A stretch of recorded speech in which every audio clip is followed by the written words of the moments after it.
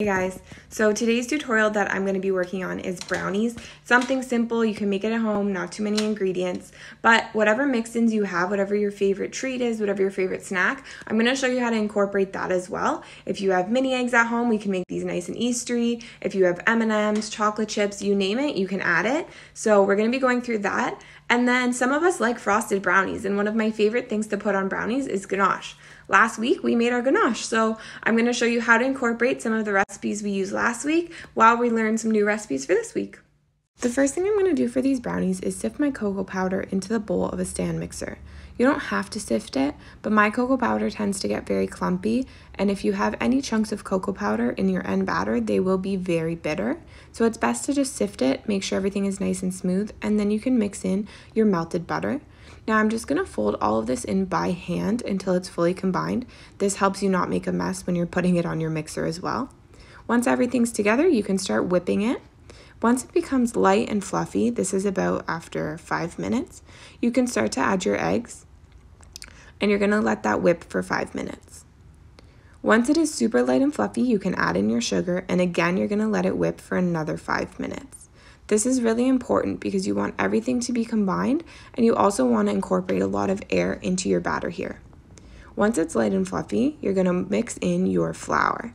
Now this is going to be mixed in all by hand and you're just going to be folding it in. You don't want to knock any air out of your batter. You don't want to lose any of the air or lightness that we just built up by whisking it for so long.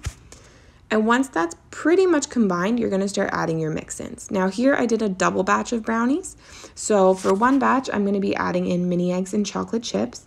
And again, you're just folding these in. You don't wanna mix them in, in the mixer because you will start to lose some of the airiness in your batter. I can see little bumps of our mini eggs and chocolate distributed evenly. That should be enough mixing and I'm going to pour them into a pan that I've just prepared with some parchment paper.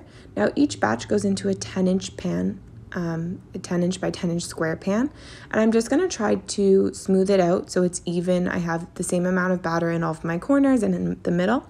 If you don't do this, some of your brownies will be undercooked, overcooked, so it is really important to make it even. And I don't just want to bang my pan against the counter because again, you're going to lose all of that air that we worked so hard to build into our batter. Once it seems smooth, I can move on to my next batch. So for these ones, I'm using the Hershey Chip-Its, the salted caramel chips. And again, folding them in lightly into my batter until they seem evenly distributed. And then again, just like we did for our mini egg ones, we're gonna pour them into a parchment lined 10 by 10 pan. And then these are gonna go into the oven um, at 350 for about 40 minutes.